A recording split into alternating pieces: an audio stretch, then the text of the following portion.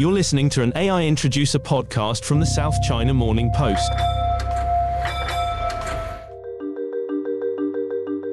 Let me give you an idea of how quickly the news is developing as generative AI, the technology most famously used by ChatGPT, is changing our world.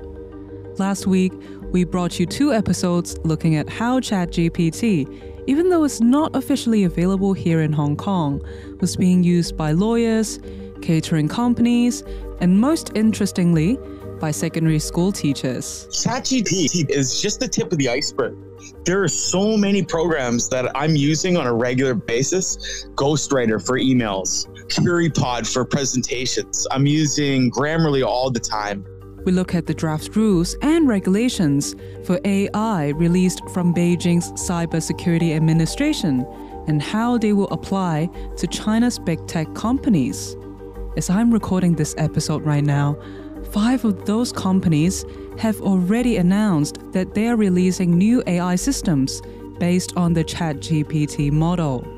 And we also asked whether China, the USA, and Europe could find a way to agree on how to regulate this technology. What concerns me the most is the concern that in the US and maybe to a certain extent in China, we might shy away from regulating technology because of this feeling of a AI race, a race to push the technology, you know, as far and as fast as possible.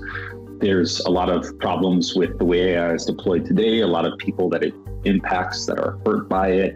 And there's a big picture, sort of long term concerns about what happens if we keep pushing the technology further, what if we keep building the models bigger and bigger.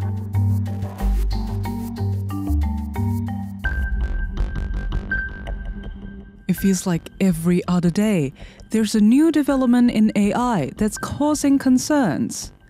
Over the weekend, a fierce debate emerged after it was revealed that the winning photo of the Sony World Photo Competition was in fact generated by AI. Boris Eldagsen, the photographer who submitted a black and white portrait of two women, refused to accept the award. I wanted to see if uh, competitions are prepared for AI images to be handed in, and uh, they are not. It's very um, important that they are aware that um, there will be more and more AI generated images in photo competitions, and it should not be mixed up. It's two different things. They look the same, but they shouldn't be in the same category. And in the last couple of days, the music industry has been shocked by the arrival of this song. It's a song made by recording, sampling, and cloning the voices of Drake and The Weeknd, and then using AI to create an entirely new song that sounds like them. But it's not them.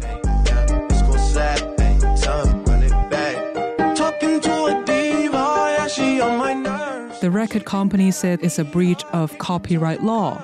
But let's see how long it takes for someone to clone the voices of dead musicians and start making AI collaborations.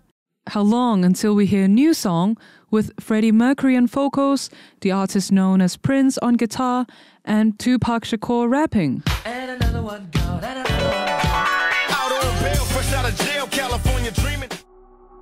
Meanwhile, in mainland China, there are more people finding out just how far generative AI can go.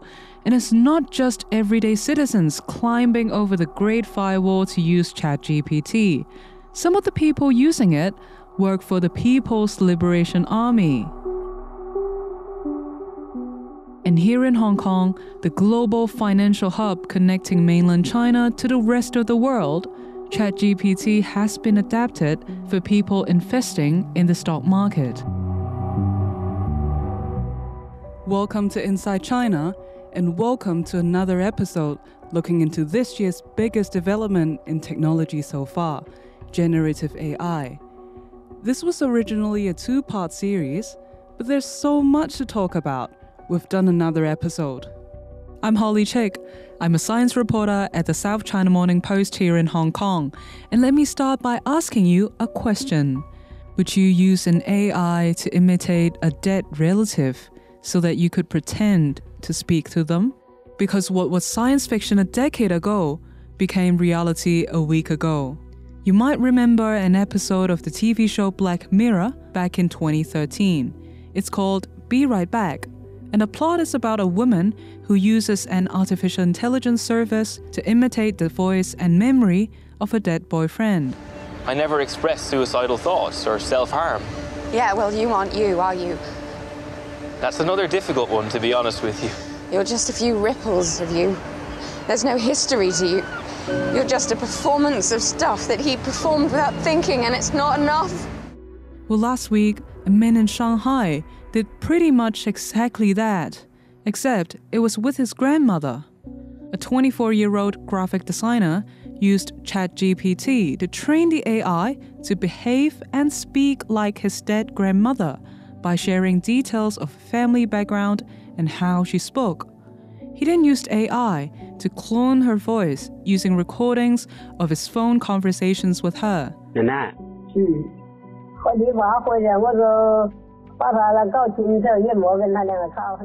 And it's not just the voice of his grandmother that was brought back from the dead. The man used old photos and imaging software to create a dynamic image of his grandmother.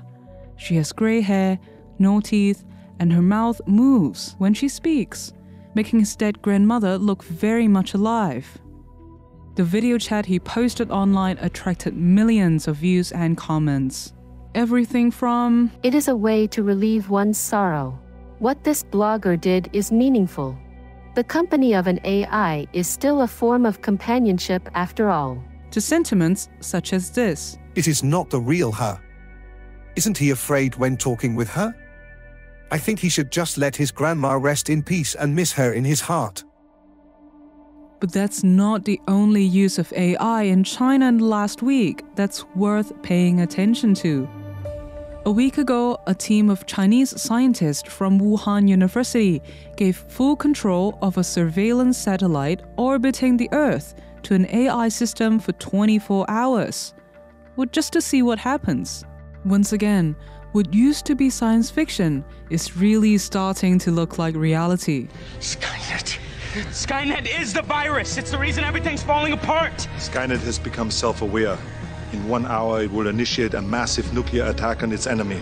What enemy? Us. Humans. And before you say it, yes, that really does bring us to the question of a treaty, a global treaty that covers AI weapons. I'll be back. We'll come back to that subject later in this podcast. But let's start with something a little less terrifying and much closer to home here in Hong Kong. The Hong Kong stock market has more than 2,500 listed companies and has an estimated market capitalization of more than 5 trillion US dollars. Hong Kong is also home to a company called Tiger Brokers, a company with more than 9 million users and 2 million account holders, trading in stocks around the world. Its website also boasts that it's the fastest growing online brokerage for millennials and Gen Z investors. And as of this week, these people will be getting access to a ChatGPT based tool that aims to help them make investment decisions. Jack Lee works with Tiger Brokers, the brokerage behind Tiger GPT.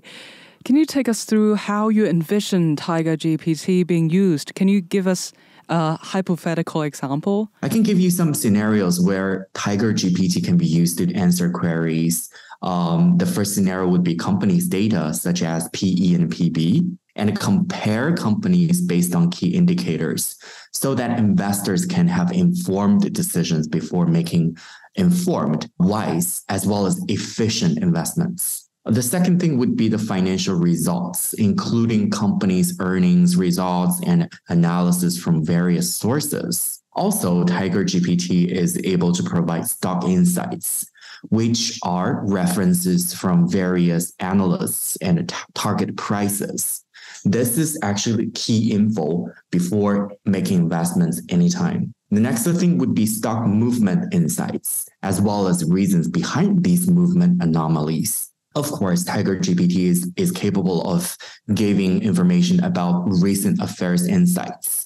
Uh, for example, how will OPEC's surprise oil cut affect oil company stock prices? And you can ask all these questions to Tiger GPT, and uh, we are trying to let Tiger GPT give you the ideal answers. There have been some very public examples of the kind of errors or false data that get generated by ChatGPT. How are you guarding against this? Well, this is a very interesting question. So, um, of course, our ultimate goal in deploying Tiger GPT is to offer reliable, informative, and accurate responses to inquiries as much as possible. However, even with such advancements, Tiger GPT may still provide inaccurate answers. Hence, we strongly advise our users to cross-check the data and facts in Tiger GPT's answers. But the good news is, at this stage, we're confident to say that Tiger GPT is more qualified in providing content regarding market movements, which are quite important. Uh, for example, single stocks and the financial news. Due to its access to the powerful financial data pool on our flagship platform, Tiger Trade, as is ongoing that we're continuously integrating the latest knowledge as we train Tiger GPT. And our team of engineers works to expand the Tiger GPT's knowledge pool on a daily basis. This process involves regular updates to the financial database that Tiger GPT gets this information, along with current financial news and market quotes. As you said, Tiger GPT is the finance industry's first investment AI assistant. What responses are you getting from the Hong Kong financial sector for this product? Well, um, Tiger GPT is in a public test phases now. Uh, so is in Hong Kong. And for the sake of collecting feedback, we can leverage to improve this feature. Uh, right now, many users, including those from Hong Kong, are actually uh, participating in the test. And the general feedback has been great as Tiger GPT um, is trying to help them, you know, get the information from the market to help them with with investments. So for now, uh, we are taking into account the test users' feedback and troubleshoot issues. And uh, we are expecting this feature to be officially online very soon including to our users in Hong Kong, since it supports Cantonese and traditional Chinese languages. Yeah, what about on mainland China? Is there interest from mainland investors? Of course, there is interest, but we do not really have any plan in launching this feature in mainland China. Has there been any mention of regulation either by Hong Kong or other financial centers for this kind of product? Not yet, but we are keeping an eye on regulators' move globally, especially in financial centers with a global influence. So our top priority is to stay compliant in all the markets where we operate. Our stance has always been clear that we believe that AI systems and technologies should be subject to rigorous safety evaluations, and um, regulation is needed to ensure that such technologies are adopted properly ethically and legitimately. And we are active in interacting with regulators in different markets, including, of course, regulators in Hong Kong on how AI could best benefit end users within the regulatory frame. As we know, ChatGPT is not officially available in Hong Kong yet. Is this a temporary loophole? Mm, I wouldn't think so, because users would want to have innovative products and services as much as possible. So instead of calling it a loophole, I'd rather call it like a, a herald, especially in the investing uh, arena that uh, our users as well as investors could have more, you know, opportunities and could have like more knowledge as well as information before they're making investments. And I think that's actually an innovation. Jack, when do you see it being released to the public? I can tell you very soon because we're actually in a very frequent tests right now and um, our language supports are ready. And once we pass this test, from the public users, we we will just release this feature. Are there plans for it to go global as well? Once Tiger GPT's feature is online, it will be ready in all the global markets where Tiger Brokers has its presence. For example, Hong Kong, Singapore, Australia, New Zealand. That's lovely. Thank you, Jack. Thank you for your time. And we look forward to seeing this being released. Thank you a lot. Nice chatting with you. So that's how ChatGPT is being introduced to the global financial markets from Hong Kong. But meanwhile, across the border, the People's Liberation Army has just published its first analysis of how it might use ChatGPT. This article was written by a lecturer from the Army Command College in Nanjing named Mao Weihao, and my colleague in Beijing has been reading what it had to say. Richard Zhang is a fellow science reporter with our Beijing bureau. Welcome to this podcast. Hello. Richard, can you take us through what you've learned about the People's Liberation Army of China looking at the possibilities of ChatGPT? I have to say that since the beginning of this year, everybody is paying attention on ChatGPT. And uh, even the Ministry of Science and Technology, they are paying attention to that. And uh, I think this is uh, the PLA's first time to respond such things. And uh, in that article, they gave us an example of how GPT-4 or, or such uh, large language models could be used in the military field. Well, that article, the analysis was written by a lecturer with the Army Command College in Nanjing. What uses does he see for it? So I think uh, Mao gave two examples in that article. The first is uh, about battlefield intelligence system. Like during peacetime, ChatGPT could be used to gather intelligence by helping to analyze vast amount of data from the internet, improving efficiency, and finding valuable information. Like uh, in wartime, it could generate comprehensive battlefield reports and making planning more efficient.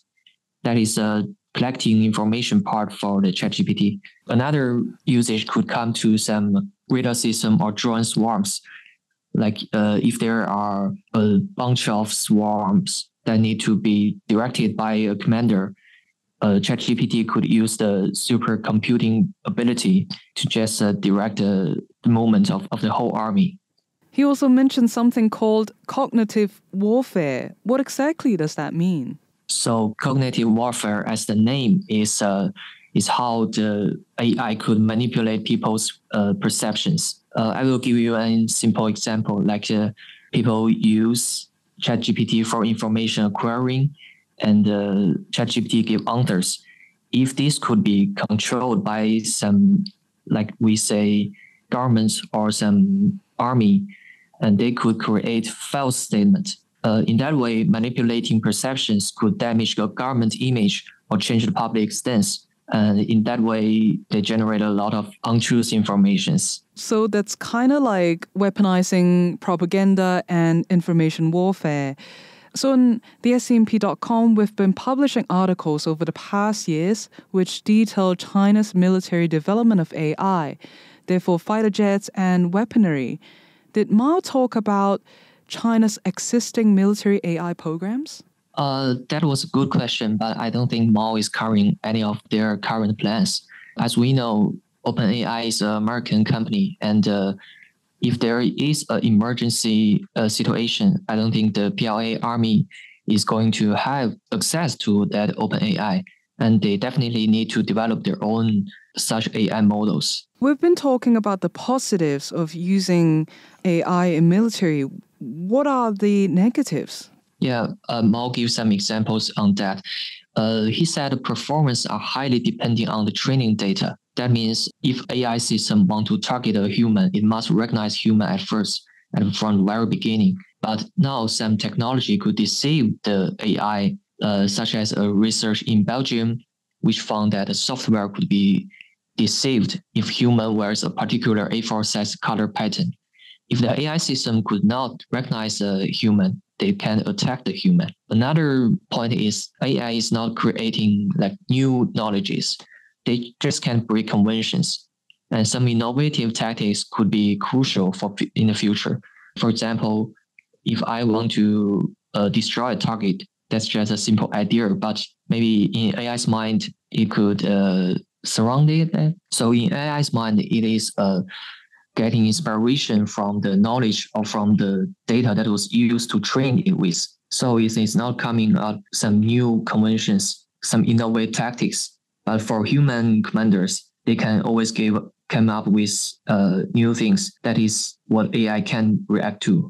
So there's a lot happening in this space, and Stephen Chen, my colleague on the science team, has written a lot of articles over the years on scmp.com about how Chinese military is using AI. Follow our latest articles on scmp.com. Thank you, Richard. Thank you for having me. It's about this time we could turn on the theme music from the Terminator films and really turn up the techno fear. Last week, for the first time ever, Chinese scientists allowed a surveillance satellite to be completely controlled by an AI system for 24 hours, letting it search out its own areas on the planet to watch. But the reality is, we're not looking at a dawn of Skynet, or not just yet. The AI system was given control of the camera on the Qiming 1 satellite, not course or orbit control. But as you heard from Richard, there's also a lot of research going to using AI to control drone swarms. And you can add this to the list of stories we've been publishing on scmp.com about China developing AI piloting systems for fighter jets and for using AI in targeted artillery systems and for planning different scenarios over what resources it needs to develop island bases in the South China Sea. Last week, we spoke about trying to find a way for China, the US, and Europe to agree on rules for AI in terms of civilian use.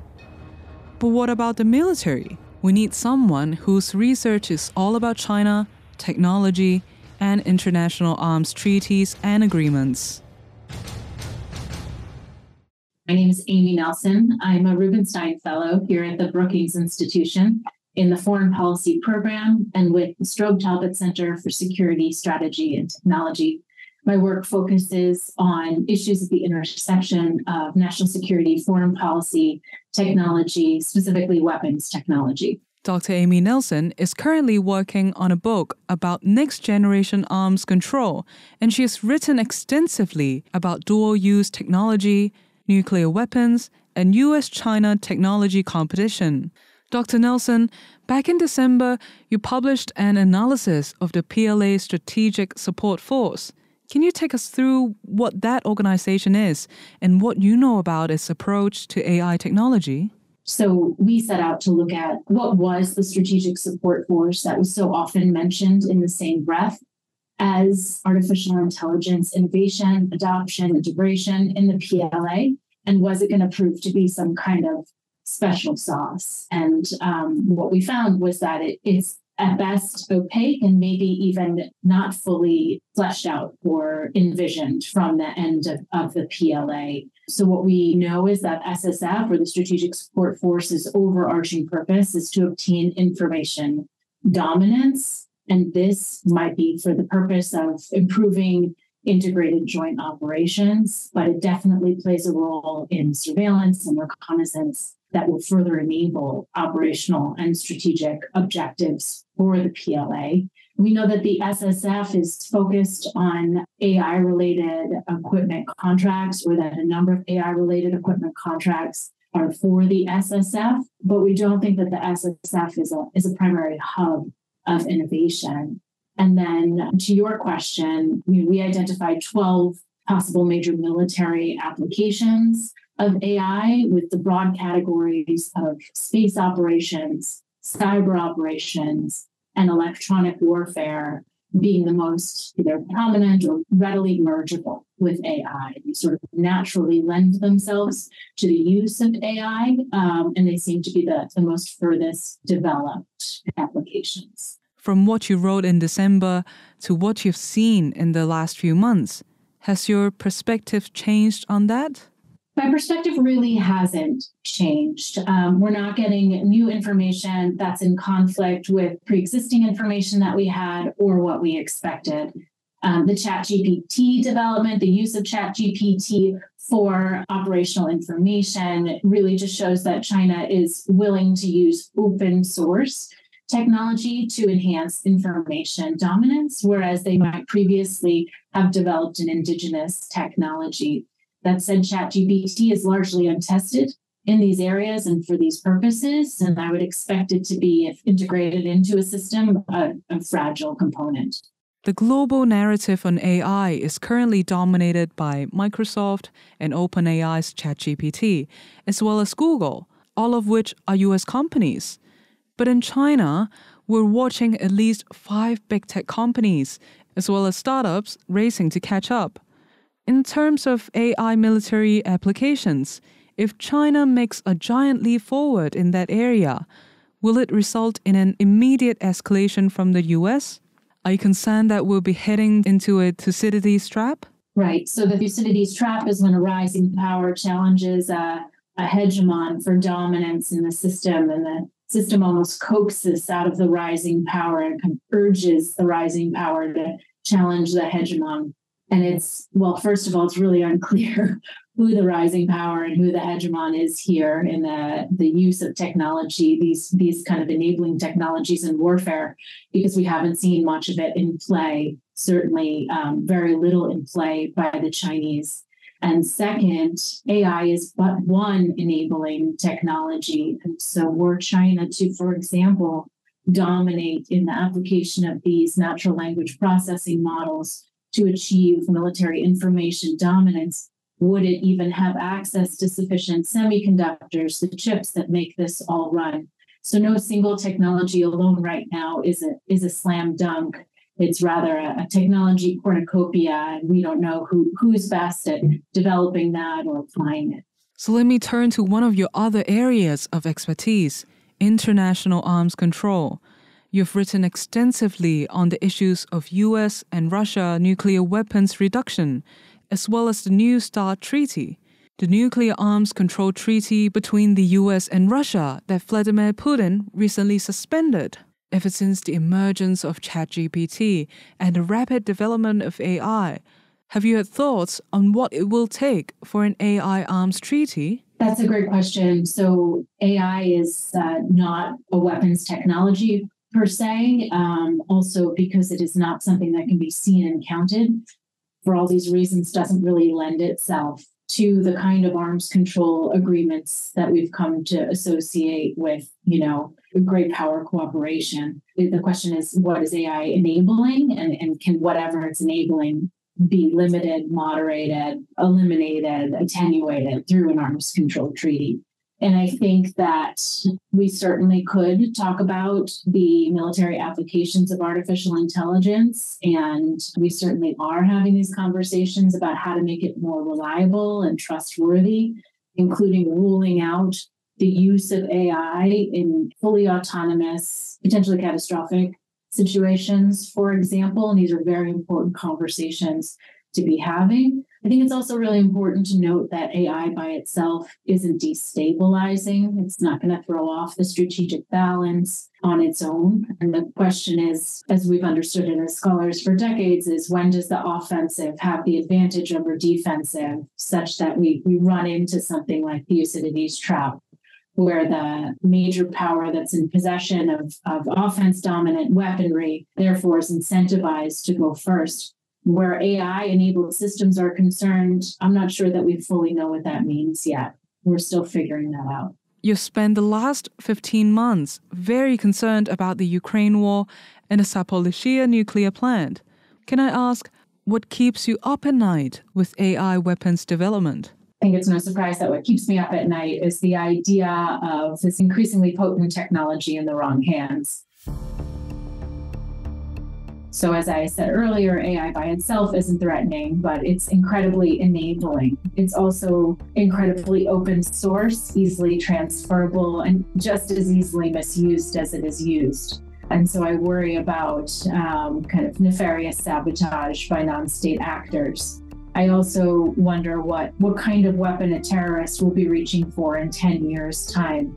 Um, we've based a lot of our understanding on what terrorists want and how they behave on 9-11 but you know the world has offered up an entirely new basket of capabilities to reach for. And so when you are a non-state actor in a restricted environment the incentive to reach for a different kind of tool i would imagine is growing and that keeps me up at night. Let me talk to you about what it's like to be a science reporter, not a science fiction reporter, and find yourself presenting a podcast based on facts that ends up quoting Terminator movies and the Black Mirror Netflix series. It's interesting, it's fascinating, it's a little terrifying. It's definitely not what I expected to report on at the start of this year. And before you ask, yes, maybe I'm a little worried about the technology behind ChatGPT one day taking my job.